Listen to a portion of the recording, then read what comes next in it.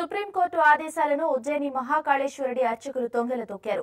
భస్మహారతి సందర్భంగా శివలింగానికి తగిన జాగ్రత్తలు తీసుకోవాలన్న అత్యున్నత న్యాయస్థానం ఆదేశాలను పెడచెవిన పెట్టారు.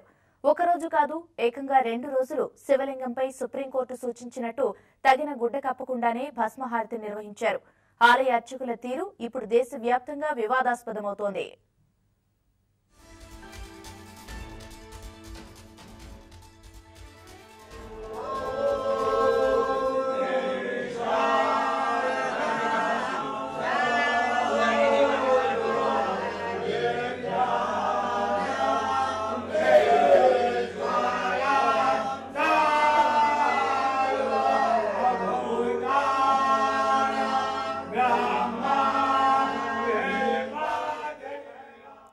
ఉజ్జయిని మహాకాళేశ్వరుడి ఆలయంలో శివలింగాన్ని పరిరక్షించాలని పునరా- పునరావస్తు శాఖ నిపుణులు సూచించడంతో సుప్రీం అర్చకులకు కొన్ని నియమాలు విధించింది.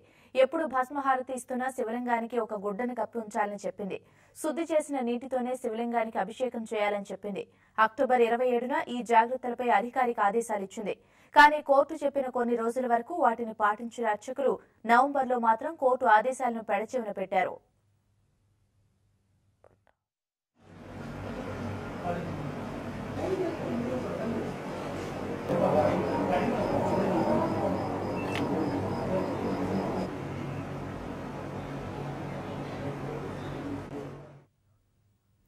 నవంబర్ మూడు నాలుగు తేదీలో మహాకాళేశ్వరుడికి భస్మహారతి ఇచ్చిన అర్చకులు మొదట్లో కాసేపు శివలింగంపై గుడ్డ కప్పారు.